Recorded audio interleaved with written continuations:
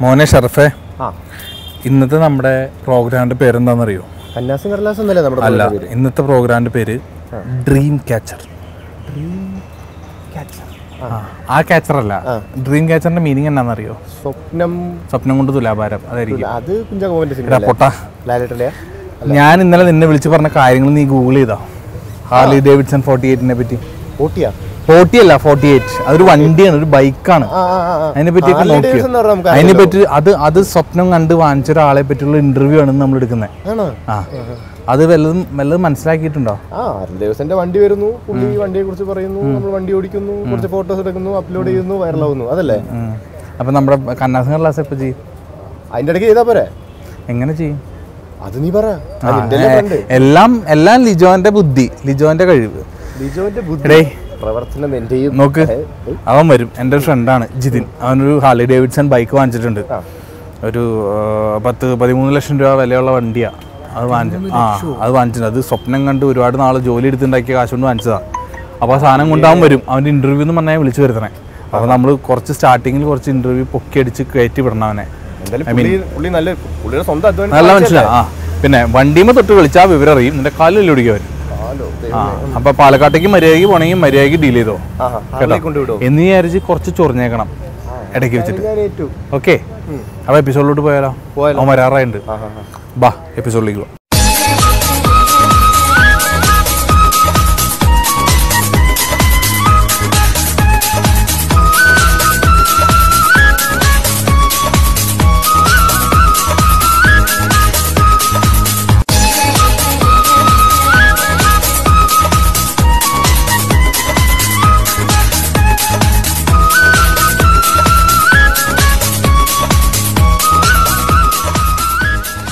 Hi hi everyone Lijo Jithin Sharaf ജിതിനെ മനസ്സിലായില്ല. നമ്മുടെ dream catcher പരിപാടിയിൽ ഇന്നത്തെ അതിഥിയാണ്. ജിതിന്റെ കഥ ജിതിൻ തന്നെ പറയുന്നതല്ലേ? അതായിരിക്കും ബെറ്റർ അതായിരിക്കും ബെറ്റർ ഓക്കെ കൂടെ ഈ വണ്ടി ഇരിക്കുന്നത് നിങ്ങൾ എല്ലാവരും കണ്ടല്ലോ?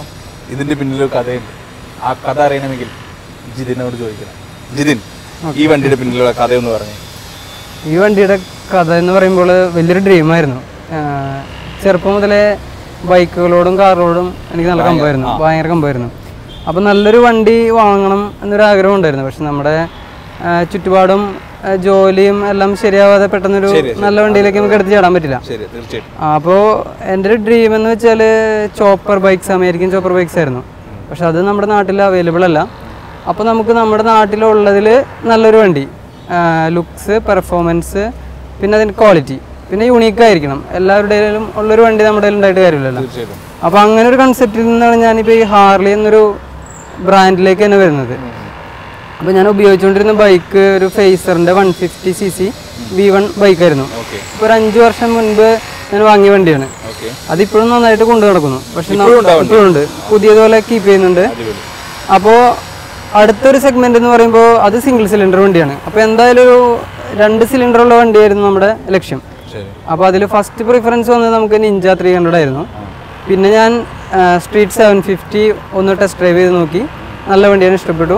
അപ്പോൾ സ്ട്രീറ്റ് സെവൻ ഫിഫ്റ്റി ഇന്ത്യൻ ബിൽഡായിരുന്നു അപ്പോൾ നമുക്കൊരു ട്രൂ ഹാർലി എക്സ്പീരിയൻസ് കിട്ടണമെങ്കിൽ ഇതിന്റെ ഹാർലി തന്നെ സ്പോർട്സർ സെഗ്മെന്റിലൊരു വണ്ടിയാണ് സ്പോർട്സ്റ്റർ അപ്പോൾ അതുകൊണ്ട് ഞാൻ സ്പോർട്സ്റ്റർ സെഗ്മെന്റിലെ ഫോർട്ടി എയ്റ്റ് സെലക്ട് ചെയ്തിരുന്നു.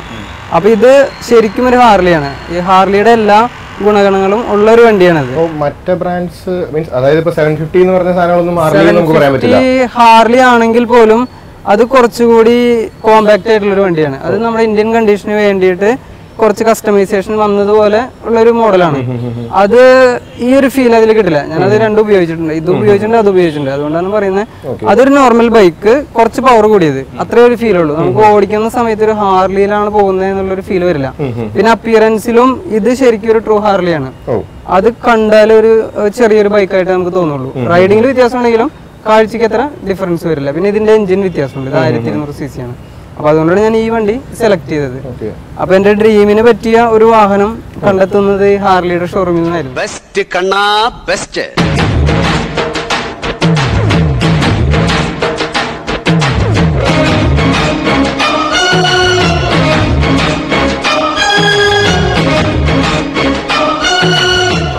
ഉണ്ടായിരുന്ന ഒരു ബുള്ളറ്റ് ഭ്രാന്ത്. പക്ഷെ ഇപ്പം നാട്ടിൽ കാക്കേനേക്കാൾ കൂടുതൽ ബുള്ളറ്റ് കാണുമ്പോൾ നമുക്ക് അതിനോടുള്ള താല്പര്യം പോയി. അതെ അതെ. അതുപോലെ തന്നെ. പിന്നെ ഓരോ സമയത്ത് നമ്മുടെ നമ്മുടെ ഒരു സെറ്റപ്പ് മാറുന്നതനുസരിച്ച് നമുക്ക് ഡ്രീം അല്ല ഇതിപ്പോ ഇരുപത്തി അയ്യായിരം ബാക്കി ഇല്ലാത്ത സാധനങ്ങൾ ഇപ്പോ ഈ സീറ്റ് നമ്മൾ എക്സ്ട്രാ ചെയ്യുന്നതാണ്. പിന്നെ ഈ ഫുഡ് പെഗ് ഉണ്ടോ ആ. ഈ ഫുഡ് പെഗ് ഇവിടെ ഒരെണ്ണം കൂടിയുണ്ട് അത് എക്സ്ട്രാ ചെയ്യുന്നതാണ്. അപ്പൊ ഈ സീറ്റും ഈ ഫുഡ് പെഗും വരുന്നതിന് തന്നെ ഇരുപത്തി അയ്യായിരത്തിന്റെ അടുത്ത് ഏകദേശം അവിടെ പോയി. പക്ഷേ ഇത് ഒറിജിനൽ ബ്രാൻഡ് പ്രൊഡക്റ്റ് ആകുമ്പോൾ ഈ റേറ്റ് വരും. ഇതിന്റെ ബ്രാൻഡും അല്ലാതെ? Brand finishing fit and finish ആണ് ബ്രാൻഡിന്റെ വ്യത്യാസം. ഇപ്പൊ ഇത് നമുക്ക് ലോക്കൽ മാർക്കറ്റിൽ ചിലപ്പോൾ ഒരു മൂവായിരത്തിനോ നാലായിരത്തിനോ കിട്ടും. പക്ഷെ ഈ ഫിനിഷും കിട്ടും. പക്ഷെ ഇതിന്റെ ഈ ഫിറ്റിംഗ് ഇത്രയും പെർഫെക്റ്റ് ആയിക്കൊള്ളുന്നില്ല. പിന്നെ ഇത് നമുക്ക് ഇതിലിരുന്ന് പോവാണ്. പോകുന്ന വഴിക്ക് ദൂരി പോയാലോ അങ്ങനെ ഒരു പ്രോബ്ലം ഉണ്ടല്ലോ. അപ്പോ ക്വാളിറ്റി ഇത് പോവില്ല. ഇത് ഹാർലി ഒറിജിനൽ ആണ്. ഇല്ല ഇല്ല ഇത് അങ്ങനെ ഊരി പോകുന്നില്ല. അപ്പോ ഒരു ഇരുപത്തഞ്ച് അവിടെ പോയി ഇവിടെ ഒരു ഇരുപത്തഞ്ച്. അപ്പൊ ഒരു അമ്പത് പോയി. പിന്നെ ഒരു എക്സ്റ്റൻഡ് വാറണ്ടി എടുക്കണമെങ്കിൽ രണ്ട് വർഷത്തിൽ ഓൾറെഡി ഇതിന് രണ്ട് വർഷം വാറണ്ടി ഉണ്ട്. അഡീഷണൽ നമുക്ക് ഒരു ടു ഇയർ വാറണ്ടി വേണമെങ്കിൽ ഒരു ട്വന്റി ഫൈവ് എക്സ്ട്രാ വരും. അപ്പോൾ ഒരു സെവന്റി ഫൈവ് അവിടെ പോയി. ആ പൈസക്ക് നമുക്ക് വേണമെങ്കിൽ ഒരു ചെറിയ ബൈക്കോ അല്ലെങ്കിൽ ഒരു സ്കൂട്ടിയോ വാങ്ങാൻ പറ്റും. പക്ഷേ ഈ വണ്ടിക്ക് ഇത്രയും വില ഉള്ളത് കൊണ്ട് ഇതിന്റെ പ്രൊട്ടക്ഷൻ അല്ലെങ്കിൽ ഇതിന്റെ ആക്സസറീസ് അത്രയും ക്വാളിറ്റി ഉള്ളതായിരിക്കും ഇൻഷുറൻസ് എത്രയാണ് ഇൻഷുറൻസ് അമ്പത്തയ്യായിരം വരും ഇതിന് ഇൻഷുറൻസ് ഇയർലി എന്റെ അപ്പോൾ എന്റെ കയ്യിലൊരു കാറുണ്ട്. അതിനൊരു പതിനാറായിരം ഒക്കെ ഉള്ളൂ ഇൻഷുറൻസ് ലിജോന്റെ ഇപ്പൊ പുതിയ വണ്ടിയിൽ എടുത്തു? എത്ര ലിജോ പുതിയ എടുത്തപ്പോ വന്ന ഇൻഷുറൻസ് അപ്പോ അതെ അതെ അതെ. അപ്പൊ എനിക്കും ഒരു ഡൗട്ട് വന്നു. ഇത്രയും വിലയുള്ള ഒരു കാറിന് എങ്ങനെ പോയാലും ഒരു ഇരുപത്തയ്യായിരം ഇൻഷുറൻസ് മാക്സിമം വരുള്ളൂ. അപ്പൊ ഞാൻ അവരോട് ചോദിച്ചു എന്താണ് ഇതിന് ഫിഫ്റ്റി ഫൈവ് അങ്ങനെ കൂടുതലല്ലേ അപ്പൊ ഞാൻ ചെറുതായിട്ട് പുറത്തുനിന്ന് ഇൻഷുറൻസ് എടുക്കാനായിട്ട് ഒരു ശ്രമമൊക്കെ നടത്തി. എന്റെ ഒരു ഫ്രണ്ട് ഇൻഷുറൻസിന്റെ ഓഫീസിലാണ് വർക്ക് ചെയ്യുന്നത് അപ്പൊ അവിടെ അന്വേഷിച്ചപ്പോൾ മുപ്പതിനായിരമേ ഉള്ളൂ ഇരുപത്തയ്യായിരം കുറവാണ്. അപ്പോൾ ഞാൻ അന്വേഷിച്ചു അത് എന്തുകൊണ്ടാണ് അപ്പോൾ ഷോറൂമിൽ അന്വേഷിച്ചപ്പോൾ നമ്മൾ നോർമലി ഒരു വണ്ടി എന്തെങ്കിലും പറ്റി കഴിഞ്ഞാൽ എന്താ ചെയ്യുക ആ പീസ് റിപ്പയർ ചെയ്ത് നമുക്ക് തരും. ഈ വണ്ടിക്ക് അങ്ങനെയല്ല. ഇതിലിപ്പോൾ ജസ്റ്റ് ഒരു സ്ക്രാച്ച് വന്നു അല്ലെങ്കിൽ ജസ്റ്റ് ഒന്ന് സ്ലൈഡ് ചെയ്ത് വീണു. ആ പീസ് ഊരി മാറ്റിയിട്ട് പുതിയ പീസാണ് വെച്ച് തരുന്നത് അപ്പോൾ നമുക്ക് വണ്ടിയിൽ യാതൊരു ഡിഫി എന്താ പറയുക ഡാമേജ് ഉണ്ടാവില്ല. അത്രയും പെർഫെക്റ്റ് ആയിരിക്കും. ഡാമേജ് ഉള്ള പീസ് ഒന്നും ഉണ്ടാവും അതെ ഇപ്പോൾ ഇൻഡിക്കേറ്ററിലൂടെ സ്ക്രാച്ച് വന്നു വിചാരിക്കാം. അതിനാണ് റൈഡിങ് ഗിയർ അപ്പോൾ ഈ ഇൻഡിക്കേറ്റർ ഇത് ഇരുമ്പാണ്. ബാക്കിയെല്ലാം പ്ലാസ്റ്റിക് ഒക്കെ ആയിരിക്കും. ഇത് ഇരുമ്പാണ്. ഇത് ഇവിടുന്ന് ഒരു പീസാണ് അപ്പൊ ഇവിടെ ചെറിയ സ്ക്രാച്ച് വന്നാൽ ഈ പീസ് മൊത്തമായിട്ട് മാറി നമുക്ക് വേറെ തരും അപ്പൊ നമുക്ക് ടെൻഷൻ ഒന്നും ആവണ്ട. അപ്പൊ അതാണ് ഇൻഷുറൻസിന്റെ എന്ന് പറയുമ്പോ ഒരു പീസ് മാറാൻ വേണ്ടി വീട്ടിൽ ആദ്യം ഈ വണ്ടിയുടെ കാര്യം പറഞ്ഞപ്പോ കുറച്ച് ഡിഫിക്കൽട്ട് ആയിരുന്നു. ഇത്രയും വിലയുള്ള ഒരു വണ്ടി വാങ്ങുന്നത് അങ്ങനെ പറയുകയാണെങ്കിൽ ഇതിൽ എതിർത്തതാണ് എല്ലാവരും. ഒരാളെ സപ്പോർട്ട് ചെയ്യേണ്ടത് അത് വൈഫാണ് അപ്പോ കുട്ടിയുണ്ട്.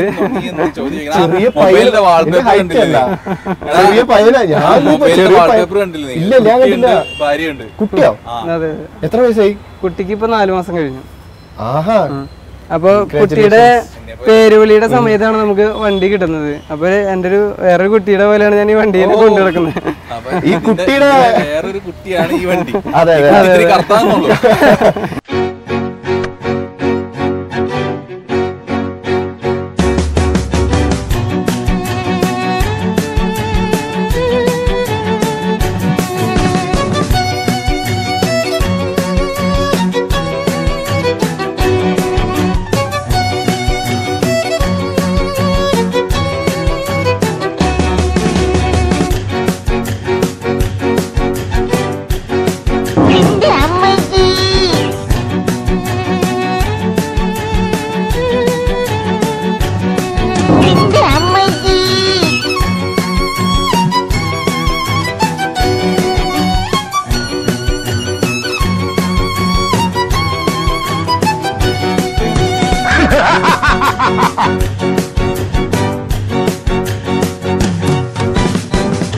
അല്ല ഞാൻ പറയട്ടെ ഈ വണ്ടി നമ്മൾ അമേരിക്കയിൽ വാങ്ങാന്ന് വിചാരിക്കാം. അപ്പൊ നമുക്ക് ഓപ്ഷൻ എന്ന് വെച്ചാൽ എ ബി എസ് വേണോ വേണ്ടേ? പിന്നെ ഇതിന് കീലെസ് എൻട്രി ഉണ്ട്. കീ പോക്കറ്റിലിട്ട് വെറുതെ സ്റ്റാർട്ട് ചെയ്ത് ഓടിച്ചു പോകാം അത് വേണോ വേണ്ടേന്ന് ഓപ്ഷൻ ഉണ്ട്. ആ ഇത് കീ അങ്ങനെയാണല്ലോ? ആ ഇതിന് പക്ഷേ ഓൾറെഡി കീ ഉണ്ട് നമുക്കുണ്ട്. ഇതിന് ഇന്ത്യയിൽ വരുമ്പോ കീലെസ് ഓപ്ഷൻ ആണ്. മനസ്സിലായോ? കീലെസ് വേണമെങ്കിൽ നമ്മൾ പറയണം. എ ബി എസ് സ്റ്റാൻഡേർഡ് ആയിട്ട് കിട്ടും. അല്ല അവിടുത്തെ റോഡുകൾ അത്രയും നല്ലതാണ്. അതാണ് നമ്മൾ ശ്രദ്ധിക്കേണ്ടത്. ഇതിന്റെ അത് പറഞ്ഞപ്പോൾ ഇതിന്റെ സസ്പെൻഷൻ കുറച്ച് സ്റ്റിഫാണ് സ്റ്റിഫ് മീൻസ് മോശം റോഡിൽ കുറച്ച് ചാട്ടം ഉണ്ടായിരിക്കും. അപ്പോൾ സെവൻ ഫിഫ്റ്റി സി സിയുടെ വണ്ടിയായിട്ട് ഇത് വെച്ച് കമ്പയർ ചെയ്യുമ്പോൾ അത് ഇന്ത്യൻ മെയ്ഡാണ് ഇന്ത്യൻ കണ്ടീഷൻസിന് വേണ്ടി ഉള്ളതാണ്. അപ്പോൾ അത് നല്ല കംഫർട്ടായിരിക്കും നമ്മുടെ റോഡിൽ പക്ഷേ ഇത് നമ്മുടെ ഹൈവേയിലെ റബ്ബറൈസ്ഡ് റോഡിൽ മാത്രമേ കംഫർട്ട് ഉള്ളൂ. അതെ ഞാൻ എന്റെ എന്റെ വേറെ ബൈക്ക് ഉണ്ടല്ലോ. അപ്പൊ ലോക്കൽ റോഡിൽ ഞാൻ ആ ബൈക്ക് ഓടിക്കും. ഹൈവേ യൂസ് ചെയ്യുന്നത്. അതാണ്. അല്ല അല്ല അല്ല. ഷോഫ് അല്ല. ഞാൻ പറയട്ടെ. ക്ലിയർ ചെയ്തോളൂ ക്ലിയർ. ഞാൻ ഇന്നലെ എന്നോട് നിന്നോട് വിളിച്ചപ്പോ ഞാൻ പറഞ്ഞു നമ്മൾ ഒരു ഡ്രീം ക്യാച്ചർ എന്ന് പറഞ്ഞ പ്രോഗ്രാമാണ്. ഞാൻ പറയുന്നത് കേക്ക്. ഞാൻ പറയുന്നത് അല്ല ഞാൻ ഇപ്പൊ പുള്ളി പറഞ്ഞത് നോക്കുകയാണെങ്കിൽ എന്റെ പോയിന്റ് കേട്ടോ പോയിന്റ് പറയണം സംഭവം ഇങ്ങനെ ഷോപ്പിന്. ഒന്ന് വെയിലത്ത് ഓടിക്കാൻ വലിയൊരു പോയിന്റ് വലിയൊരു പോയിന്റ് ഞാൻ പറയാം. മൈലേജ് ഇപ്പൊ ഞാൻ പറയാം. ഞാൻ പറയാം. എനിക്ക് ഇത് കൊണ്ട് ബാംഗ്ലൂർ പോകണമെന്ന് വെച്ചാൽ ഇതുകൊണ്ട് എനിക്ക് പോകാൻ പറ്റും. പക്ഷെ എത്ര വർഷം ബാംഗ്ലൂർ ഒരു അഞ്ച് ആ അതാണ് അതാണ് പോയിന്റ് മൈലേജ് വ്യത്യാസം പോലെ എന്റെ പോയിന്റ് അതാണ്. പതിമൂന്ന് ലക്ഷം അല്ല, ഇന്നലെ നിന്റെ അടുത്ത് ഞാൻ പറഞ്ഞു കാര്യം ചോദിക്കുമ്പോ കാര്യം പറയണ്ടേ? ഈ മാതിരി ഷോയ്ക്ക് വന്നു കഴിയുമ്പോ ഞാൻ പറഞ്ഞത് നമ്മൾ ഒരാളുടെ ഡ്രീം ക്യാച്ചർ. പുള്ളിനെ കുറ്റം പറഞ്ഞല്ല എന്റെ എന്റെ അല്ല, അതല്ല, ഞാൻ പറഞ്ഞില്ലേ. ഇത് കാണുമ്പോ എനിക്ക് എപ്പോഴും തോന്നുന്നത് ഞാൻ കാര്യങ്ങൾ ആയിരം കൊടുത്ത് എനിക്ക് ബസ്സിൽ സുഖമായിട്ട് എ സി ഉണ്ട് വേറെ കാര്യം പ്രോഗ്രാമിൽ വരുമ്പോ ഇങ്ങനെ ഒരാളെ ഇന്റർവ്യൂ ചെയ്യുമ്പോ ഇയാൾ ഡ്രീം. ഒരാളല്ലേ? അതെ ആളുടെ സംസാരിക്കാൻ അതുകൊണ്ട് ഇന്നലെ അത് കുഴപ്പമില്ലെന്ന് അത് കുഴപ്പമില്ലെന്ന് അല്ല ഇനി എനിക്ക് ഞാൻ ഇതിനു മുമ്പ് ഇതുപോലെ ഇഷ്യൂ ഉണ്ടായിരുന്നു. ഞാൻ അല്ല, എനിക്ക് ഇഷ്യൂ ഇല്ലല്ലോ. ഇല്ല അത് കുഴപ്പമില്ല. അതെ ഞാൻ പറയട്ടെ ആളൊരു പോയിന്റ് പറയുമ്പോ ഞാൻ അതിന് ക്ലാരിഫിക്കേഷൻ കൊടുക്കാന്ന്. അല്ല ഞാൻ അത് കുഴപ്പമില്ല കൂളാവും.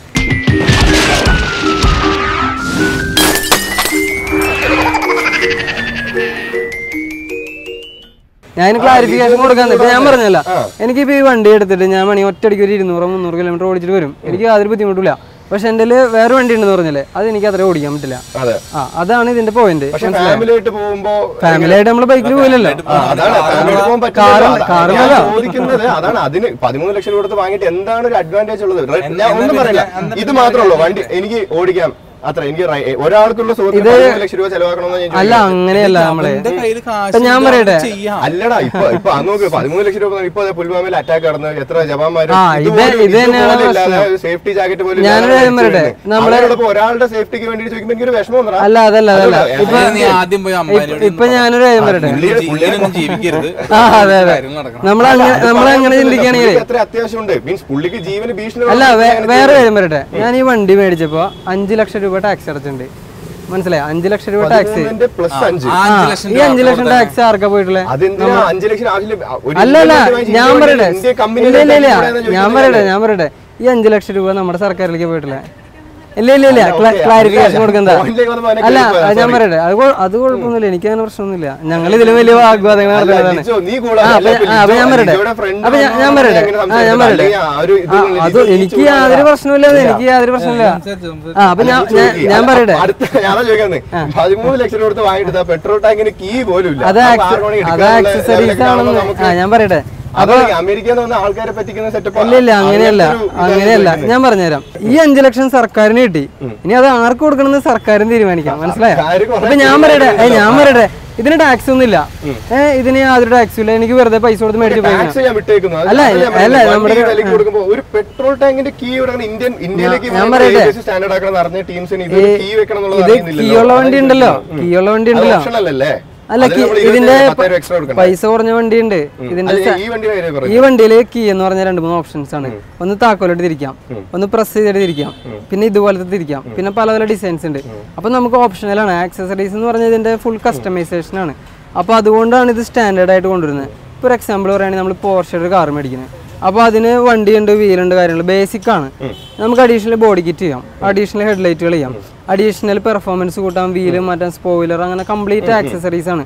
ഈ ബ്രാൻഡ് വണ്ടികളൊക്കെ അങ്ങനെയാണ്. പക്ഷേ അതിലൊരു അഡ്വാന്റേജ് നമുക്ക് എവിടെയും കൊണ്ട് നിർത്തിയിട്ട് ഒരു ആ കുഴപ്പമില്ല. അവിടെ നിർത്തിയിട്ട് പോയിട്ട് ഒരു കടയിൽ ടോണിക്കോ കയറിയിട്ട് ഒരു കാപ്പി കുടിച്ച് വരാന്നുള്ള ധൈര്യമുണ്ട്. പിന്നെ- നിർത്തിയിട്ട് നമുക്ക് പോവാൻ പോകുമ്പോൾ അല്ല തുറന്ന് പെട്രോൾ ഈ വണ്ടിയിൽ ആരെങ്കിലും വന്ന് പെട്രോൾ എടുക്കാന്നുള്ളത് റയറാണ് ഏത് ലിറ്റർ പെട്രോൾ എടുത്ത് കൊണ്ടുപോകണേ? ചോദിക്കുന്നത്. പിന്നെ പിന്നെ ഞാൻ പറഞ്ഞല്ല ഞാൻ പറഞ്ഞല്ല. നമ്മൾ ഇത്രയൊക്കെ സംസാരിച്ചതിന് ശേഷം എന്തായാലും ബൈക്ക് ഓടിക്കാൻ അല്ലേ? ഇത് ജസ്റ്റ് ഒരു റൗണ്ട് ഓടിച്ചാൽ മാത്രമേ എന്റെ ഫീൽ മനസ്സിലുള്ളൂ അല്ല അത് കുഴപ്പമില്ല അത് കുഴപ്പമില്ല. എനിക്ക് അങ്ങനെ പ്രശ്നമൊന്നുമില്ല കേട്ടാ. ഏയ് അങ്ങനെ ടെൻഷനൊന്നുമില്ല ഒരു പ്രോബ്ലം ഇല്ല. ഇത് ഞാൻ അതല്ല അല്ല അല്ല ഇതിനു മുമ്പേ ഇതിനു മുമ്പ് നമ്മൾ നിസാന്റെ ഒരു വണ്ടി അതുപോലെ അച്ചീവ് ചെയ്ത ഒരു ലേഡിയുടെ ആ കാര്യം പറയാം അതായത് നിങ്ങൾ അതല്ല അതല്ല ഇത് എല്ലാവർക്കും ഉള്ള ഡൗട്ടാണ് എന്റെ വീട്ടിൽ വരെ ചോദിക്കാറുണ്ട് ഈ വണ്ടി കൊണ്ടുവന്ന് അച്ഛൻ ചോദിച്ചു. പതിമൂന്ന് ലക്ഷത്തിന് എന്താണ്? അച്ഛന് ബൈക്ക് ഓടിക്കാറില്ല. അപ്പൊ ഞാൻ അച്ഛനെ ബാഗിൽ എടുത്തിട്ട് റൗണ്ട് കൊണ്ടുപോയി കാണിച്ച്. പിന്നെ അവിടെ നിന്ന് മിണ്ടിയില്ല. അതാണ്. അതല്ല അതല്ല. ഇത് ഓടിച്ചാൽ മാത്രമേ നമുക്ക് അതിന്റെ ഫീൽ മനസ്സിലാവുള്ളൂ. മനസ്സിലായോ? പിന്നെ ഇത് ഇത്ര പൈസ മുടക്കാൻ കാരണം എന്ന് വെച്ചാൽ ഇത് പുതിയതായതുകൊണ്ടാണ്. ഇത് സെക്കൻഡ് ഹാൻഡ് ആണെങ്കിൽ നമുക്ക് ഇതിന് പകുതി പൈസക്ക് കിട്ടും. അല്ലെങ്കിൽ നമുക്ക് പഴയ വണ്ടി എടുത്തിട്ട് പണിത് ഇറക്കാം. എനിക്ക് ഞാൻ മേടിച്ചിട്ടുള്ള വണ്ടികളൊക്കെ നല്ല പെർഫെക്റ്റ് കണ്ടീഷനിലാണ് എടുക്കാറ് പുതിയത് എടുക്കാറ്. അല്ല ആൾക്ക് ക്ലാരിഫിക്കേഷൻ കൊടുക്കട്ടെ ഇല്ല ഇല്ല അത് കുഴപ്പമില്ല അത് കുഴപ്പമില്ല. എനിക്ക് അങ്ങനെ വിഷയമൊന്നുമില്ല. അല്ല അപ്പൊ ഞാൻ പറഞ്ഞുതരാം. ഞാൻ ഇരിക്കുന്ന വീട് തന്നെ എനിക്ക് മാറിയിട്ട് വേറെ വീട്ടിലേക്ക് പോകണമെന്നുണ്ടെങ്കിൽ തന്നെ ഒരു ഇരുപത്തഞ്ച് ലക്ഷം രൂപ വേണം. അത് ഉണ്ടാക്കാൻ ഒരു പത്ത് ലക്ഷം എന്റെ car ഗ്യാരണ്ടി കാണിക്കാൻ വേണ്ടിട്ട് പോലും എനിക്ക് പറ്റുന്നില്ല. അതിൽ പതിമൂന്ന് ലക്ഷം രൂപയ്ക്ക് വണ്ടി എടുത്തിട്ട് പോകണമെന്ന് പറഞ്ഞപ്പോ എനിക്ക് അത് ഞാൻ പറയട്ടെ? ഒരു കണക്ഷൻ അല്ല ഞാനൊരു സംഭവം കാണിച്ചു തരാം. കണ്ടോ?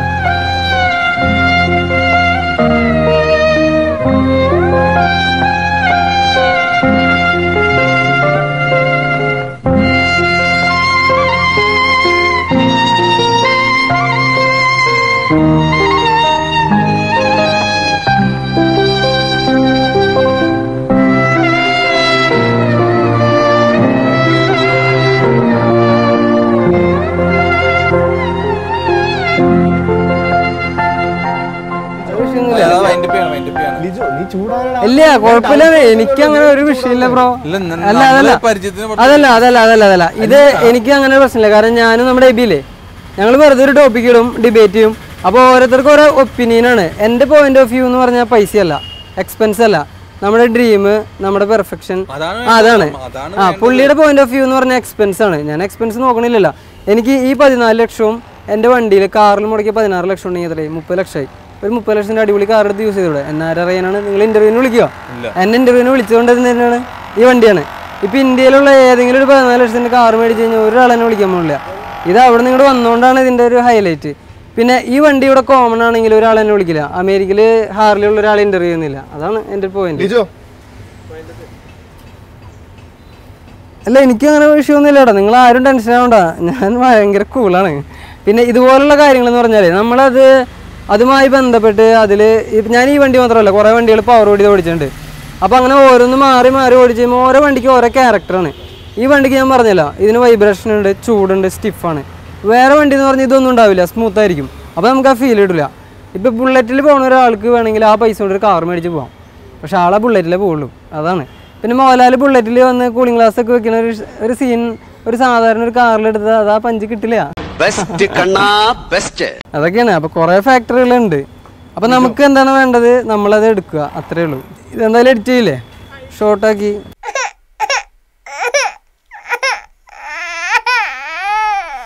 നല്ല രീതിയിൽ പ്രശ്നം ചെയ്താ കുഴപ്പമൊന്നുമില്ല. ഇങ്ങോട്ട് ജിതി ഇങ്ങോട്ട് ആ, അത് കുഴപ്പമൊന്നുമില്ല. എനിക്ക് യാതൊരു പ്രശ്നമില്ല ബ്രോ ലിജോയുടെ ഫ്രണ്ട് എന്ന് പറഞ്ഞിട്ട് ഞാൻ ചോദിച്ചു ഇല്ല എനിക്ക് അങ്ങനെ യാതൊരു കുഴപ്പമില്ലല്ലോ കുഴപ്പമില്ല ഇപ്പൊ ഞാൻ പറയട്ടെ. എനിക്ക് എനിക്ക് യാതൊരു പ്രശ്നമില്ല കേട്ടാ കാരണം ഇത് ഞാൻ ഒരുപാട് ആലോചിച്ചത് ഒരു ഒറ്റ ദിവസം കൊണ്ട് പോയി ഓടി പോയി മേടിച്ചാലേട്ടാ നമുക്ക് അതാണ്. എനിക്ക് ഒന്ന് ഓടിക്കണം എന്ന് ഭയങ്കര ആഗ്രഹമുള്ള സാധനം അതൊക്കെ. ആ അതാണ്. ഒരാൾ സ്വന്തമാക്കണം പറയുമ്പോൾ നമ്മുടെ ഇല്ല ഇല്ല അത് കുഴപ്പമില്ല. ഞാനിത് ഒറ്റ ദിവസം കൊണ്ട് പോയി മേടിച്ചതല്ല ഞാൻ എന്റെ എല്ലാ ബാക്കി വണ്ടികളും എന്ന് പറഞ്ഞാൽ വീട്ടിൽ പോലും പറഞ്ഞിട്ടില്ല. എന്റെ രണ്ട് വേറെ വണ്ടി ഉണ്ടല്ലോ. അത് മേടിച്ചിട്ട് വീട്ടിൽ കൊണ്ടുപോയിട്ട് കാണിച്ചിട്ടില്ല. ഞാൻ വണ്ടി മേടിച്ചു എന്ന് പറഞ്ഞിട്ട്. പക്ഷേ ഇത് ഞാൻ ആലോചിച്ച് മേടിച്ചതാ. അപ്പോൾ ഇത് മേടിക്കുന്നതിന് മുമ്പ് ഞാൻ വീട്ടിൽ ഒന്ന് പ്രസന്റ് ചെയ്തു. പിന്നെ ഒരു വണ്ടി ഞാൻ കൊണ്ടുപോയി കാണിച്ചു. സെവൻ ഫിഫ്റ്റിയുടെ വണ്ടി കൊണ്ടുപോയി കാണിച്ചു. വീട്ടുകാരൊക്കെ ഒന്ന് കയറ്റി റൗണ്ടൊക്കെ കറക്കി. പിന്നെ ഇതിന്റെ ഡെലിവറി എടുത്ത് പേയ്മെന്റ് ഒക്കെ ചെയ്യണതിന് മുമ്പ് ഞാൻ വീട്ടിലെല്ലാവരും കൊണ്ടുവന്ന് കാണിച്ചിട്ടുണ്ട് ഈ വണ്ടി. അതുകൊണ്ട് ഈ വണ്ടി അവിടെ ഇരിക്കുന്നുണ്ട്. ഒരു ചെറിയ വണ്ടിയാണ്. ഞാൻ പറഞ്ഞില്ല എഴുന്നൂറ്റമ്പത്. അതിന് ഏഴ് ലക്ഷം ഉള്ളൂ. പിന്നെ പതിനാല അപ്പോൾ രണ്ട് വണ്ടി ഞാൻ കാണിച്ചു. കൊണ്ട് പറഞ്ഞു ഈ രണ്ടെണ്ണത്തിൽ ഒരെണ്ണം നമുക്ക് മേടിക്കുക ഏതാ മേടിക്കണമെന്ന് വെച്ച് അപ്പോൾ എല്ലാവർക്കും ഈ വണ്ടി ഇഷ്ടമായത് അപ്പോൾ എല്ലാവർക്കും ഇത് ഇഷ്ടമായി അതുവരെ എല്ലാവർക്കും എതിർപ്പായിരുന്നു കേട്ടോ. അപ്പോൾ പറഞ്ഞ ഇത് അത് ഓയിൽ ടാങ്കാണ് ആ ഓയിൽ ലെവലാണ് തിരിച്ചു നോക്കണം. അപ്പോൾ എല്ലാവർക്കും ഈ വണ്ടി ഇഷ്ടപ്പെട്ടപ്പോൾ പിന്നെ നമുക്ക് കൂടുതലൊന്നും ചിന്തിക്കാനില്ല. ജിതിന്റെ വീട്ടിൽ അച്ഛനമ്മയുണ്ട് ഞാനുണ്ട് ചേച്ചിയുണ്ട്. ചേച്ചിയുടെ കുറ്റിച്ചിറ ചാലക്കുടി കുറ്റിച്ചിറ. ലിജോയുടെ ആധാർ കാർഡ് ഒക്കെ ഇല്ലേ? എന്താണ്? ആധാർ കാർഡ് ഉണ്ടോ ആധാർ. ഇപ്പൊ നോബൽ പ്രൈസ് സമ്മാനങ്ങളൊക്കെ കൊടുക്കാറുണ്ട് കേട്ടിട്ടുണ്ടോ? അതിലേക്ക് അപ്ലൈ ചെയ്യാം കൊടുക്കാറുണ്ട്. അതൊക്കെ നമ്മൾ ചെയ്യാറുണ്ട്. ചെയ്യാറുണ്ട്. ആ, ആധാർ കാർഡ് ഒന്ന് എനിക്ക് കോപ്പി ഒന്ന് തരണം. നോബൽ സമ്മാനത്തിന് കൊടുക്കാൻ വേണ്ടി. നോബൽ സമാധാനത്തിന്റെ ഒരു നോബൽ പ്രൈസ് എന്താ കാര്യം അറിയോ. കൊല്ലാനല്ല. ഷോ പറയണത് എന്തായിരുന്നു ഷോന്റെ പേര്? അതല്ല വേറെ ഷോ ഡ്രീം കേസർ അല്ല ചളിപ്പേരല്ല. കന്നാസും കടലാസും എന്ന് പറഞ്ഞിട്ട് ഷോ ചെയ്യുന്നുണ്ട്. അതാണ്. അതിന് വേണ്ടിട്ട് പ്രാങ്ക് ചെയ്യാൻ വേണ്ടിട്ട് വന്നാണ് ഞങ്ങൾ നീ നീ ഫോൺ എടുക്ക്.